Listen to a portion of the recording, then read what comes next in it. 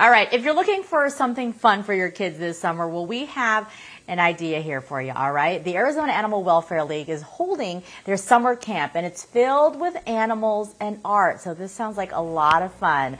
Erin joining us live right now with all the details. You can't go wrong with animals, right?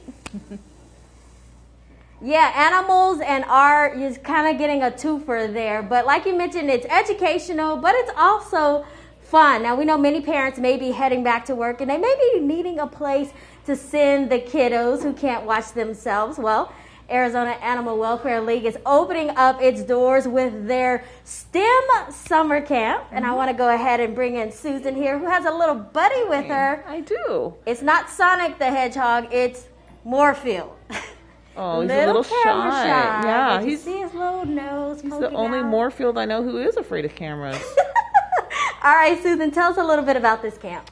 Okay, well, what we've done is we've combined our two most popular camps: a STEM science-based camp and an art camp. Because I love I love science. I'm a science nerd, and I'm also a mom, so I love really cool crafts. So we do a little bit of both in this camp. And we have some kids here doing something, some little psychedelic tie dye yeah. going on. So they get to make their own camp shirt. Um, it's like a kind of a Huckleberry Finn type thing, like, hey kids, come make your own camp shirt. But they really love it, and it's one of those crafts that as a parent, you don't always want to have a bunch of dye around your house. You know what's going to happen. It's going to be a big mess. And um, we love messes here, and the kids really love their shirts, especially the little ones when they come in. They're so proud of what their shirts look like, and uh, and that white summer camp logo turns out really really nice on those colors. So you said there is a cost associated with the camp, but this was really about opening your doors for the community.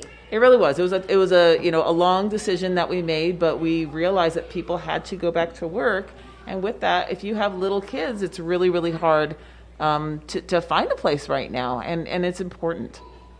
And, and let's talk a little bit about that. You're opening your doors for kids ages 6 to 14? Yes. If people are interested, what should they do? They should go to our website and they should register soon because we've got a cap on our classes. We're only allowing 10 kids per class and we're only doing three camps at a time, so space is limited. We sold out this week. We anticipate selling out for the rest of June.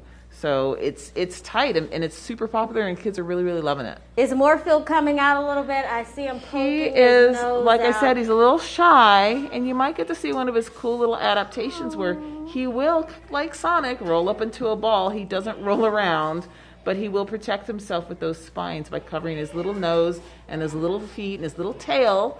And those are some of the cool science facts that you get to learn when you come here. And a lot of times we like to have kids, if we're able to have them touch some of the animals, they can touch them, they get pictures taken with them. Um, this one's not a touching animal, okay. though, for obvious reasons. Yeah, I actually like to say that it's prickly and protective on the outside, squishy and sweet on the inside, kind of like me, guys. but if you're interested in bringing your kids out to this summer camp, just reach out to AAWL. Looks like a lot of fun.